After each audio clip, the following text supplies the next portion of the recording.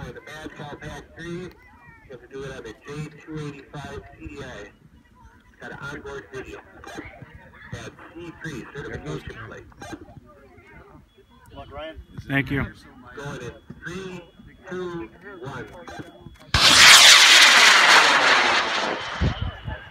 Good whistle. I can still hear it. Uh-huh. You're gonna have a little walk. It's alright, as long as it all goes good. Come on, baby. Dual deploy. Made it 500.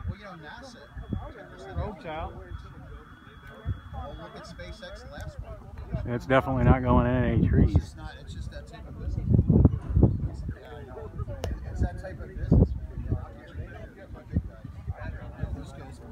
Made it 500.